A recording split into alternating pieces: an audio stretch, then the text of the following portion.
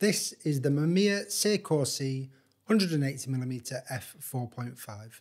It's a short telephoto lens for the Mamiya RB67 series, and it also happens to be my most recent photography purchase, having been persuaded to buy it by Sophia Carey when she was on a recent trip over to Sheffield for a shoot a week ago.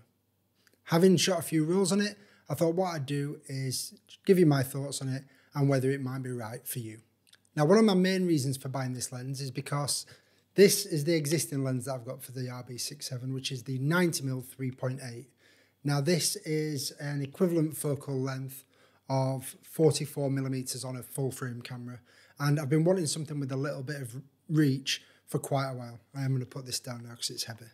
Now, with the 180 millimeter obviously being double the 90, that means that the equivalent focal length on full frame for the 180 is 88 millimeters up there or thereabouts. Now this is almost exactly the same as my Sony Macro 90mm f2.8, which is what I use for the vast majority of my digital portraits. Now the aperture does only go down to 4.5, but that's not really an issue for me.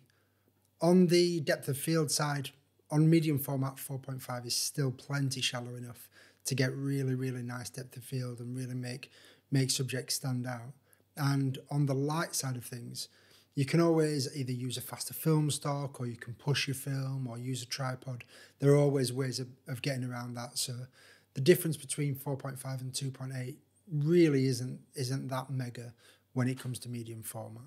Now, let's not waste any more time and let's look at some of the images that this lens creates. And we'll start with a portrait session that I shot here in the studio with Kaya, where I shot some Kodak Portra 800 in natural light. Now, I'm absolutely loving the compression and depth that this lens gives, especially close up. And even shooting at f5.6 and higher, it gives a really nice effect where the focus drops off. The detail around the eyes is really, really sharp. And for what is essentially a 50 year old budget lens, the results are pretty astounding, to be fair. Now, I am really looking forward to shooting this lens with strobes and a low speed film to see just how good an image quality you can get from, as I say, this essentially budget lens. Now, I also took the lens on a walk around Wentworth when I went with Sam so that I could get an idea of what it's like for shooting things other than portraits. And again, I was absolutely blown away by the results. Again, it provided that extra reach that I've been looking for, matched up with the image quality. And bearing in mind that these images are all shot on expired Portra 160 from, I think it's 2016, that makes that image quality even more impressive. So let's look at the pros for this lens first and foremost. And the first one for me has to be the price. I paid £180 for this with a 12 month warranty from Harrison Cameras in Sheffield. But since buying it, I have seen them knocking about for about 150, 160 pounds on eBay and other used places. So it is definitely worth having a look around. Now, for that kind of money, when you take into account the image quality that you're getting, I think that's incredible value.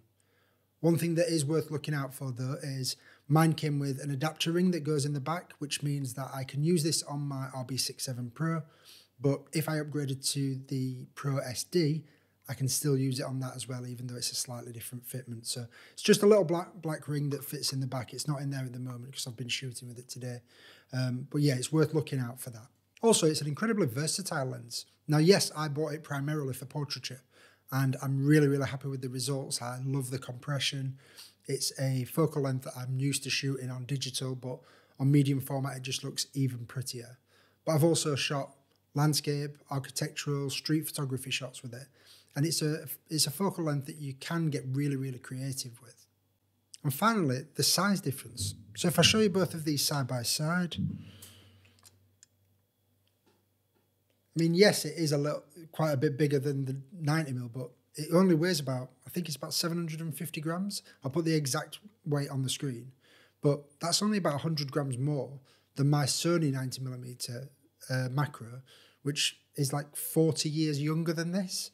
So it's really not that heavy at all, especially for a Super Telephoto Prime on medium format. Now, when we're looking at the flip side, looking at some of the cons of this lens, as I mentioned before, it does only stop down to f4.5, which for me personally is not a deal breaker at all. But for some people, they might really want that super, super shallow depth of field, that really fast lens, getting something down towards 3.8 or 2.8. Now, to be honest, I don't believe, and correct me if I'm wrong here, I don't believe that there is actually a faster 180 uh, millimeter lens that's available for the RB. I know that for the RZ you can get faster ones, but I don't believe that there's a faster one for the RB, although I may well be mistaken. One thing that I know I won't be mistaken about is if there is one available, it will be a lot more expensive. So again, not a deal, but not a deal breaker for me in the slightest. Also, another con that really isn't a deal breaker for me is the minimum focusing distance. So it's slightly over 1.1 meters.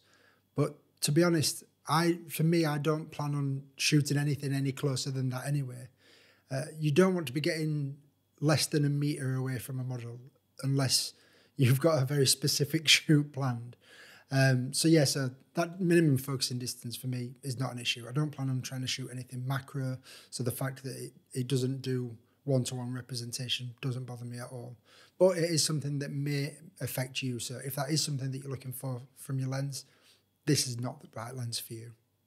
So all in all, my initial thoughts on this lens, having used it for three or four rolls now, are that if you're looking for a lens that gives you a little bit more reach than you currently have, if you're looking for a short telephoto lens, if you're looking for something for portraiture, or if you're looking for something just to give you that little bit more than you're getting at the moment from like a standard 90mm lens or a 65 or whatever it is that you might have at the moment, for the money, I don't think there's any better option.